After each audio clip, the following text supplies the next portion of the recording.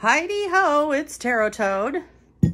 And I'm back with another question from 101 questions to ask your tarot psychic.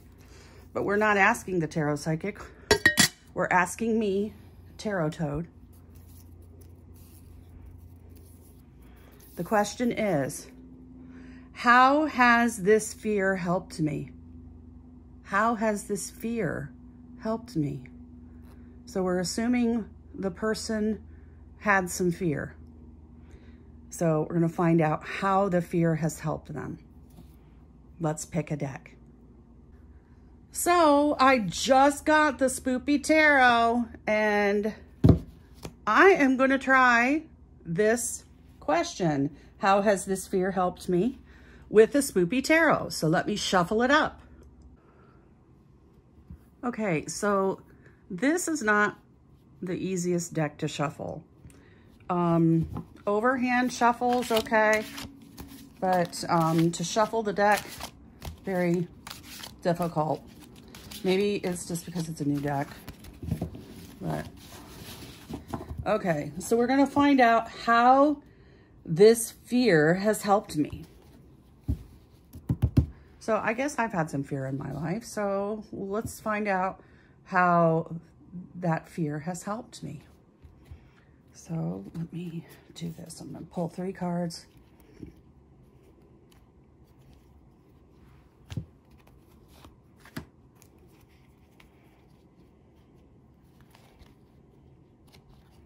Two. Three.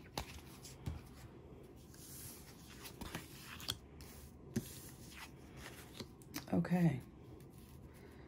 So there are my three cards about how this fear has helped me.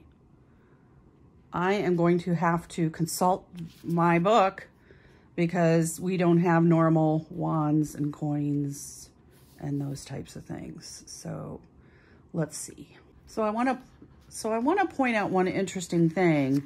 They call them pentacles, cups, wands, and swords, but they don't have,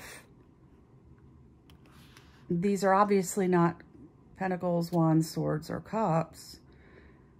So my other beef is that at least with the major, I had a picture, right?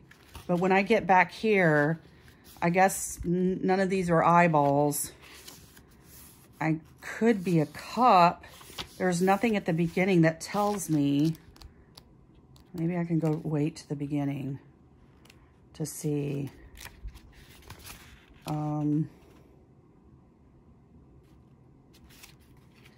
yeah, that's not good because I can't tell. So, I guess I'm going to say that this is a cup, so these are cups.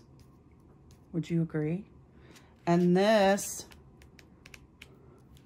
a wands, that looks like a sucker, and those are suckers. So, um, first of all, these don't really spark any of my intuition here. Um, okay, so my question is, how has the this fear helped me? So the Six of Cups, it's helped me to go through it so I can help someone else is, I guess, one way to look at it. The Three of Wands is like the embarking card. I don't see anything embarking in that card, honestly. I hate to say this, but I just have to close my eyes and not look at these cards. oh, oh, this does not help me at all. Eight of Cups, that's walking away from something. I have no idea.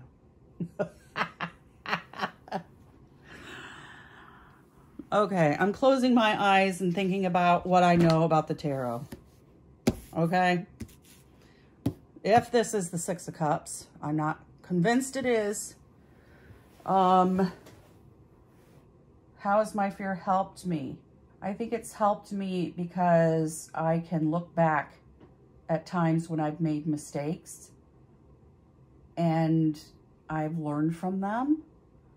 So, you know, that that fear of making mistakes it helps me because I can go back into my memory banks and be like, okay, hold up. Don't, don't, don't make that kind of move. No, that didn't work before. Don't do it again. So my going back in time, the fear has helped me. As far as the three of wands, I think the fear has helped me embark on new things.